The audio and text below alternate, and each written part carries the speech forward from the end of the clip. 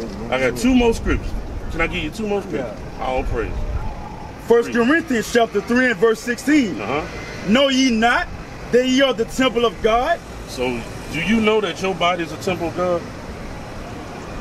Yeah, your body is a temple of God. Right. This is a gift that He gave to you, right? We supposed to take care of it. Somebody give you something, you supposed to take care of it, right? right? So if somebody gave you a new car, you're gonna treat it any kind of way. You're gonna take care of it. Bring it out. That's right. You're gonna take care of it. Somebody gave it to you, right? Read.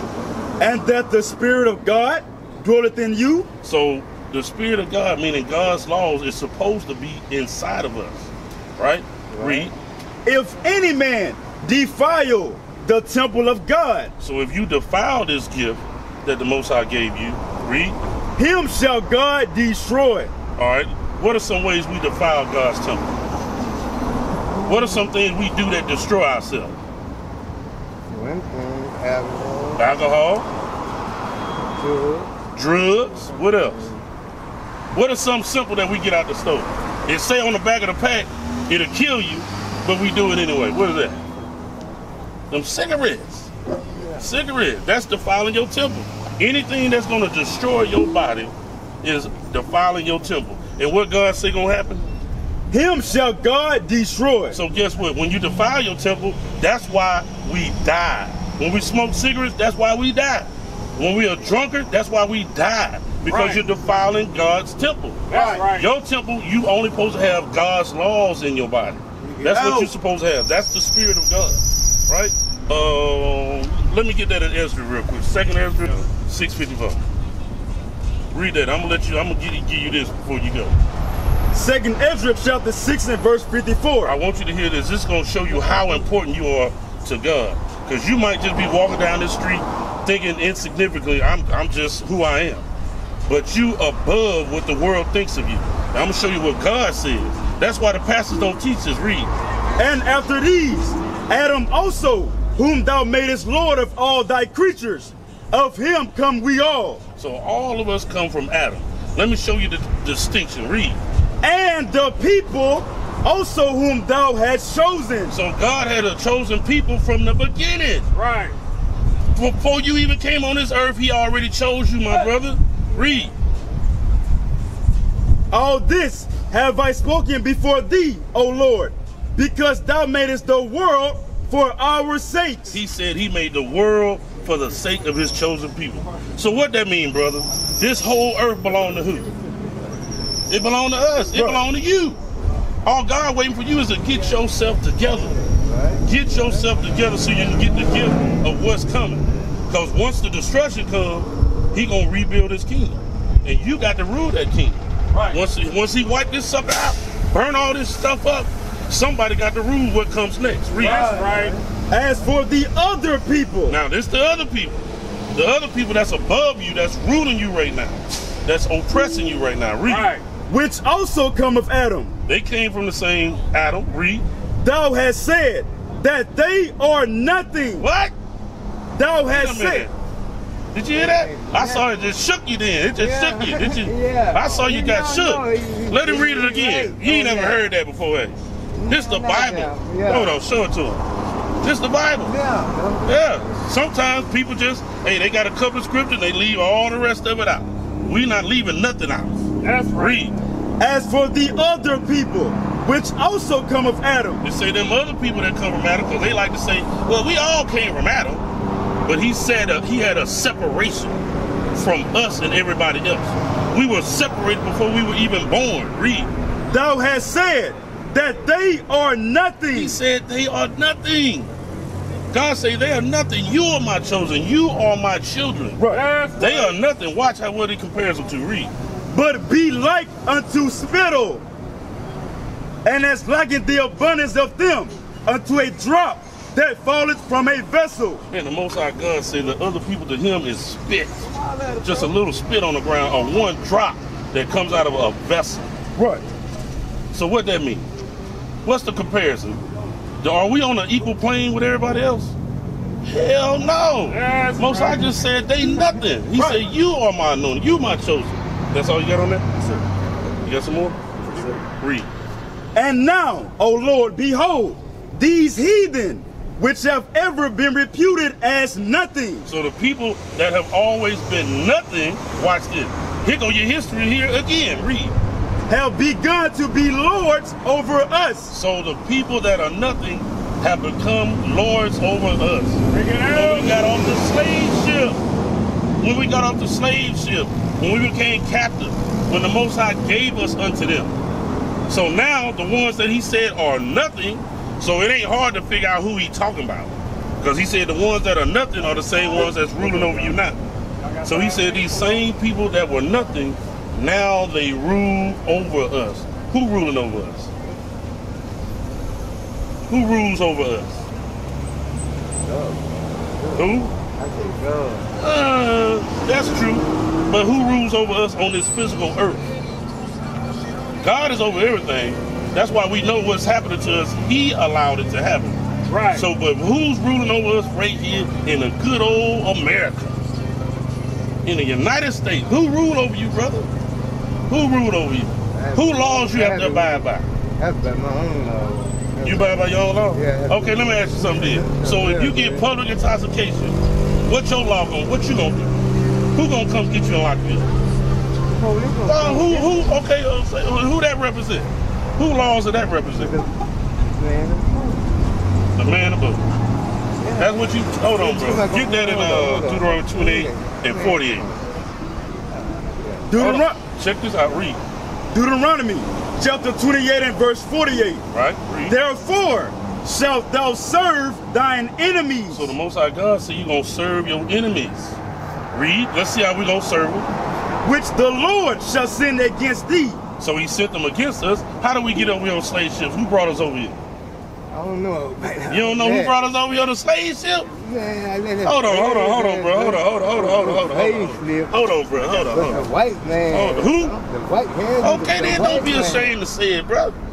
Now, who did all this to us? Ain't no, ain't we know back like that, bro. But the. Bible did. This is our biblical history. Yeah, the Nick man Okay? So that's who ruling over us. You see the slave ships? They brought us over here.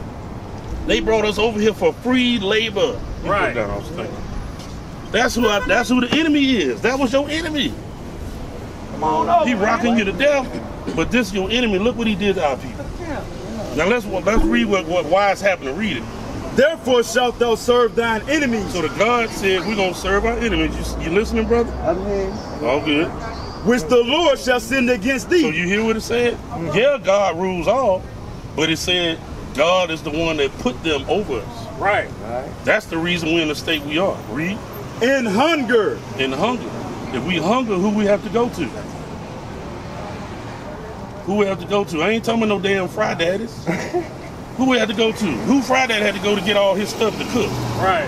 Huh? He got to go to them. Yeah. Because even back then, when you came out to cotton field, who we had to, who had to feed us? The white They did. There you go. Read. and in thirst. in thirst. So if you need water today, it's hot as hell out here. Where you got to get water from? Who do we get water from? The white man. Okay, because can you go to the ocean and drink out of the ocean? Hell no, it's salt water. You got to go in that stove. You got to go in that. You got to go to McDonald's to get some water. But who produces that water? That same enemy, right? Read. And in nakedness. In nakedness. If you're going to get clothes, even in slavery, who clothed us in slavery? The white man. The white man. Yeah, we ain't, we ain't ashamed to tell the truth. Read. and in want of all things. So one of all things. So in America, in America, who is above us? Because we got to go to them for everything. The white man. There you go, man, bro. Ain't, we ain't ashamed to say what the truth is. They rule over us. We're not ashamed of that because we know what the next kingdom is. What did I just read? That we gonna be over and they gonna be beneath. Right. All right, get Second Ezra six and nine. That's what I want.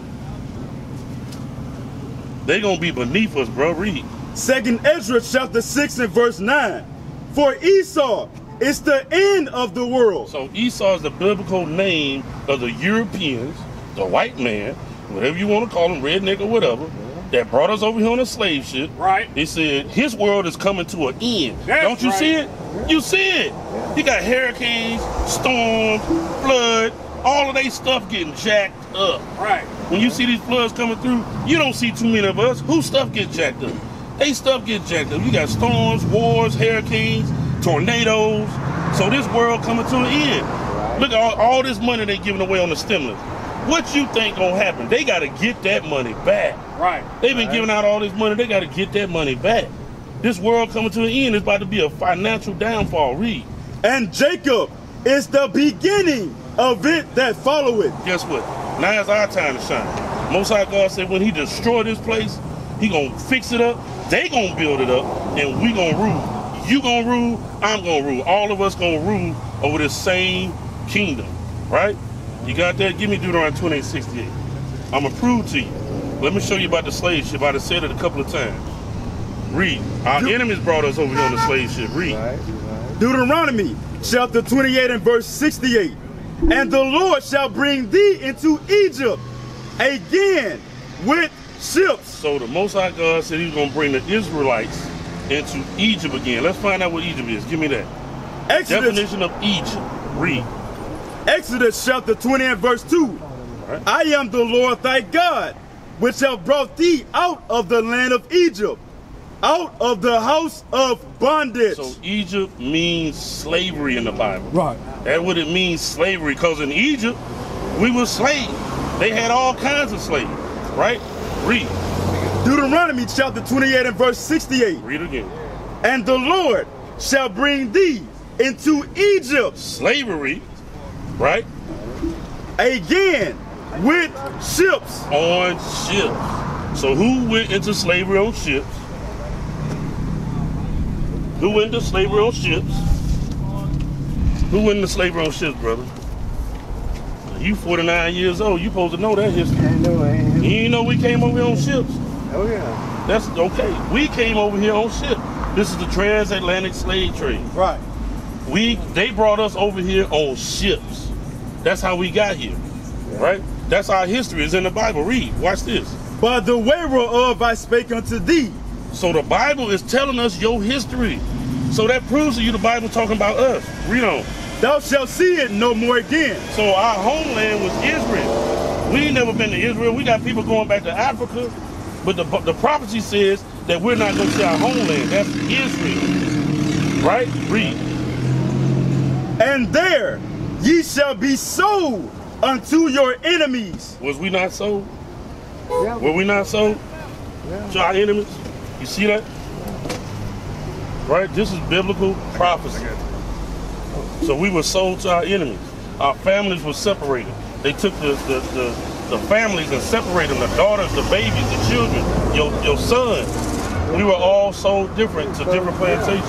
That's what happened to us. All right, read. And there ye shall be sold unto your enemies for bondmen and bondwomen. Bond men and bond women, meaning you're going to work for free. Right. for free. They keep talking about reparation, and the European is saying, no, I don't owe you a damn thing. But you know that our people work for free for hundreds of years, right? Right. And you doing the same thing now because they don't pay you enough to take care, uh, uh, to have the same lifestyle as them. Right. We have to work hard for our money out here. Right. The black man got to break his neck, and you don't even have time to live because you're always at work. Right. Right. So it's the same thing. Right. right? Right.